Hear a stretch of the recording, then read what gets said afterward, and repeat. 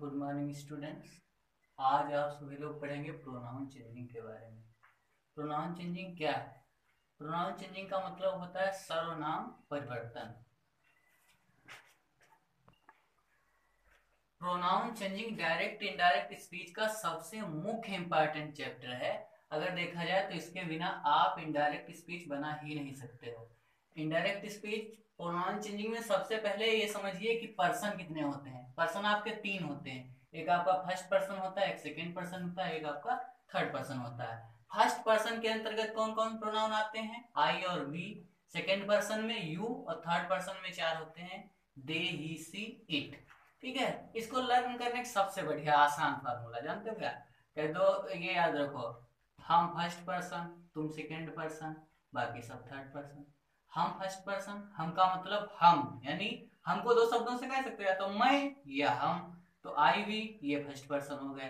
तुम second person यानी you second person आपका हो गया। अब बाकी सब थर्ड पर्सन है दे ही सीट आपके थर्ड पर्सन है। ठीक है? समझ में बात है अब यहाँ पे ये जो है, ये आपका सब्जेक्ट है। सब्जेक्ट बोले तो ये कर्ता आपका है।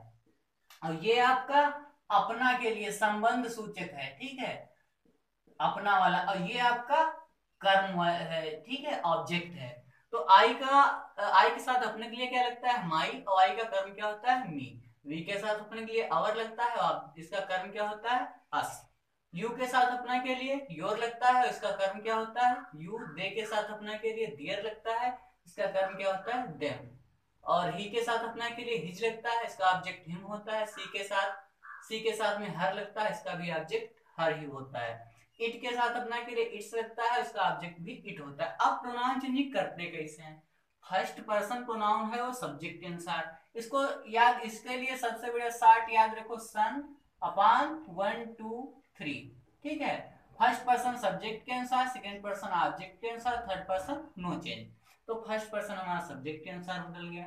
सेकेंड पर्सन ऑब्जेक्ट के अनुसार बदलना है third person no change Ramu said to me ये सेंटेंस जैसे लिखा है तो इसमें सब्जेक्ट क्या है? रामू वर्ब क्या है?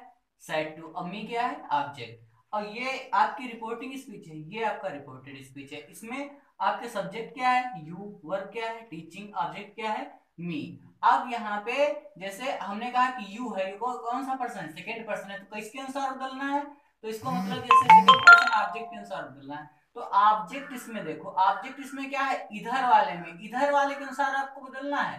तो इधर वाले में ऑब्जेक्ट कौन है? ये वाला। तो मी के अनुसार इसको बदलना है। बात समझे भाई?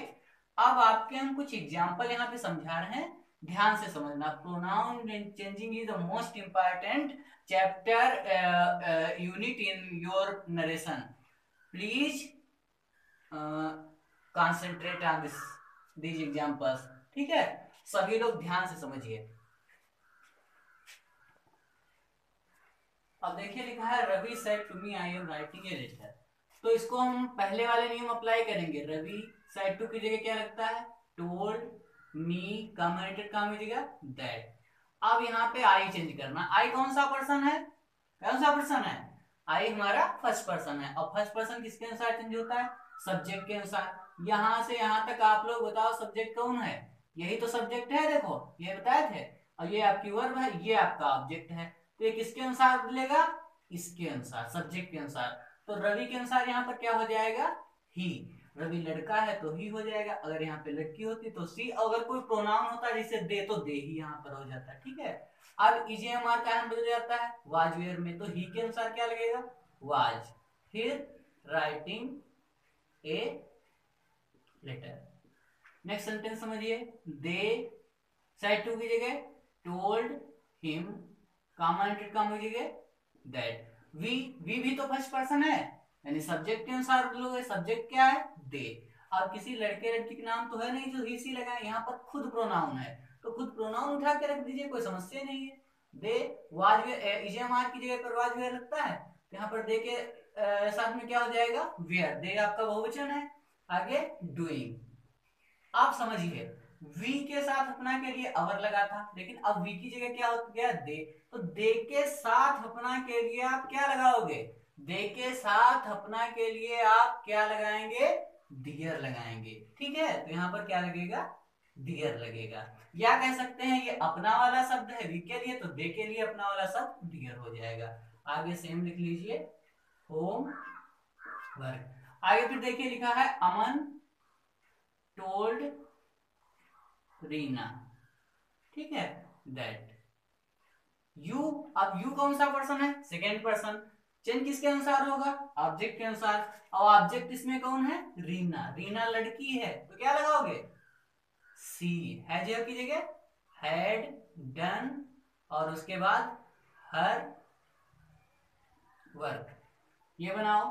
विमल टोल्ड मी दैट आई आई किसके अनुसार बदलेगा विमल के अनुसार क्यों? आई फ़र्स्ट पर्सन है। अब सब्जेक्ट के अनुसार